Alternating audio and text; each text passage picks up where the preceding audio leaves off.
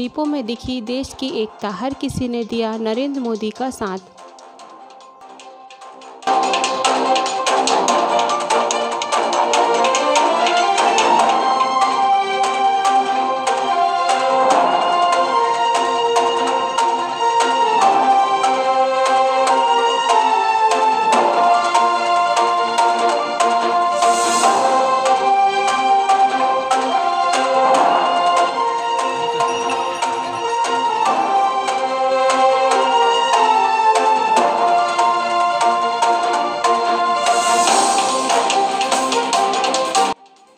मंडला में प्रधानमंत्री नरेंद्र मोदी की अपील पर घरों के बल्ब बुझाकर दीप, मोमबत्तियाँ, मोबाइल की फ्लैश से रोशनी करने पर सभी लोग अपने घर के आँगन, बालकनी या छत पर आ गए। इस दौरान दीपावली का वह नज़ारा देखने को मिला, जो इससे पहले शायद ही कभी देखने को मिला हो। वहीं भारत देश की एकता भी इन दीपों और टिमटिमाती रोशनी में नज़र आई, जिसने कोरोना वायरस से लड़ने के लिए हर किसी को एकजुट कर दिया।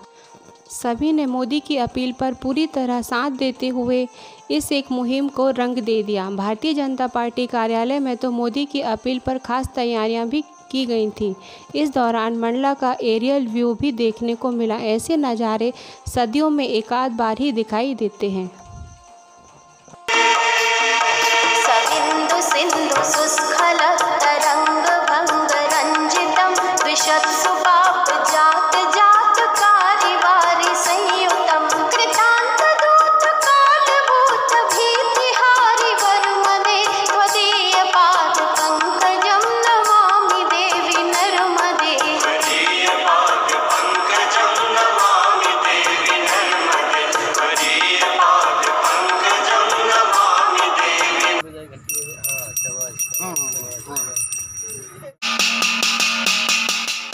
आज माननीय प्रधानमंत्री ने जो एक आह्वान किया था कि पूरे विश्व में फैली हुई एक महामारी, वैश्विक महामारी, कोरोना, को हमको ख़त्म करना है।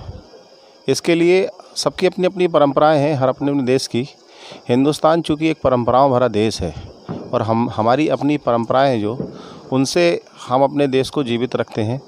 और आज का ये जो कार्यक्रम है, ये कहीं ना कहीं एक दूसरे को संजोने का, एक दूसरे को जोड़ने का और सकारात्मक पहलू को फैला के इस वैश्विक महामारी को इस देश से ख़त्म करने का संदेश था।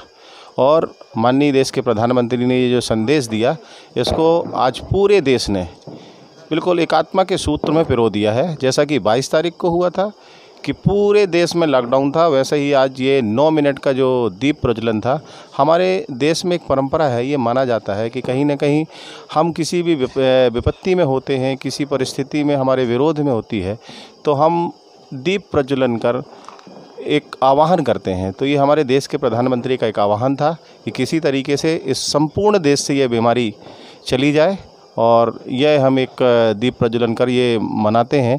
ईश्वर से प्रार्थना करते हैं कि पूरा देश संपन्न रहे, सुखी रहे और यह महामारी हमारे देश से दूर हट जाए।